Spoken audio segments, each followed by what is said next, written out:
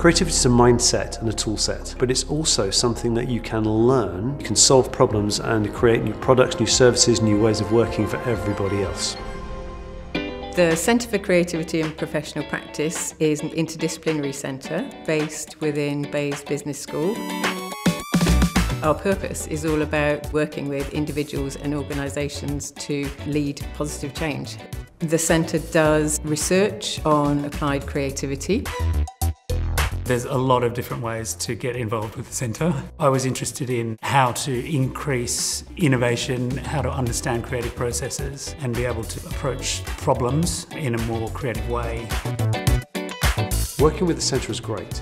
We started to say how can we take the best of UK higher education and support other people in other parts of the world and people who don't have access to that. Educating students and staff, not just what entrepreneurship is, but how to teach it. And the creativity angle of that is absolutely vital.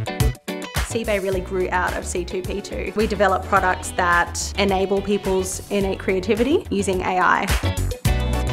We're codifying creative ideation into an app to follow a creative problem solving process to everyday issues and challenges that they face. What we ask them to do on the course, which we call the MICL, is to be creative, to go away and play with creativity, to apply what they've learned in the programme and do it. You learn a lot about yourself, whatever kind of person you are, introvert, extrovert, corporate world, creative world, you won't regret it. There are really exciting opportunities in finding organisations, individuals with common purpose and sparking new ideas together.